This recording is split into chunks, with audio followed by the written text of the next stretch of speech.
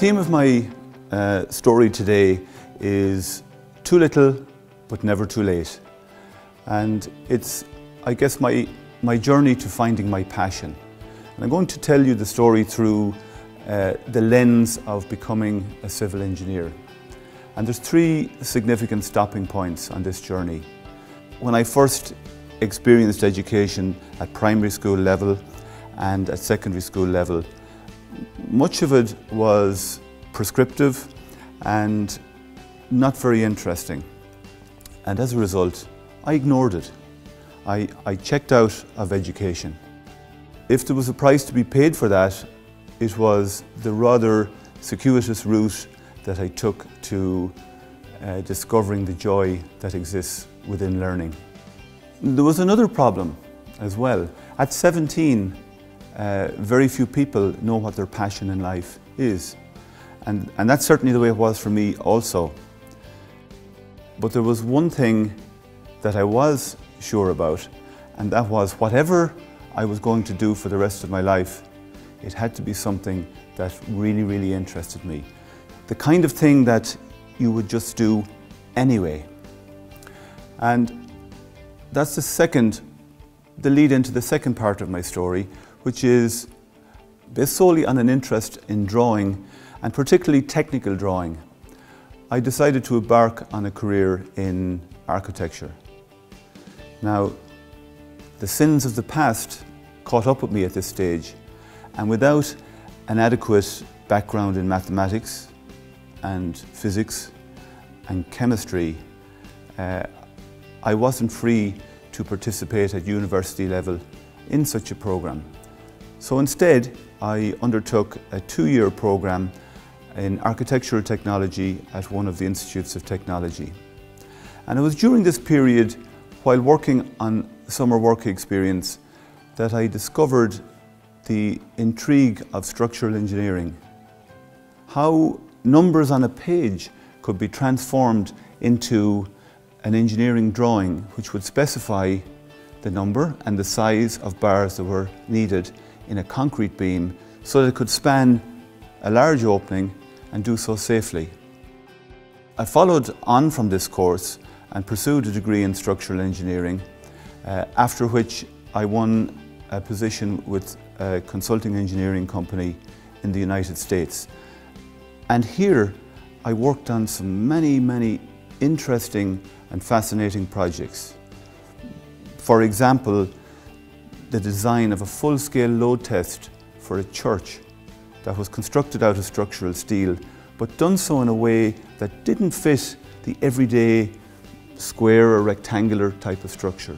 It had lots of nuances that complicated the structure. And we had to design a full-scale load test that would verify that this structure was capable of carrying the loads that it was designed for. Another example was investigating why Suddenly, an eight-storey building collapsed into the ground. These were fascinating projects and uh, led me to an interest in education and I suppose the third part of my story and that is the, the desire to, to share my experiences with young people who wanted to become engineers and to do so in a way that would be engaging and enjoyable. I found, uh, I found myself that I always learned best and gained a deep understanding when I was involved in doing things. And it was the University of Limerick that then provided me with this opportunity. Five years ago, I was involved in designing a brand new civil engineering program that incorporated these values incorporated the learning by doing philosophy. We used many pedagogical approaches uh, and at the heart of these was problem-based learning. Now problem-based learning is a scenario where students are given problems. They're open-ended, they're complex and they're messy. And they're given these problems in advance of having received the knowledge that they need to solve them. And it has been extremely rewarding to watch these young people oozing with enthusiasm for being given the autonomy to form an educational model and a learning model that brought them to very, very great heights.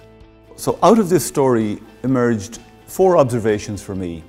The first is that people's CVs are not as they appear on paper. They hide or mask the twists and turns that life presents. And it is through negotiating these twists and turns that we really uh, become robust people and find our accomplishments very rewarding. The second is that we should trust our own abilities and never let anyone set limits for us. The third item would be that we should have the confidence and foster the freedom to think for ourselves. It's a very gratifying experience and I think you would be surprised, pleasantly surprised, at the benefits it would bring. And finally, we should always make time to do nothing, because in doing nothing is where great ideas are born. If you're interested in finding out more about our civil engineering programme at the University of Limerick, feel free to contact me for further information.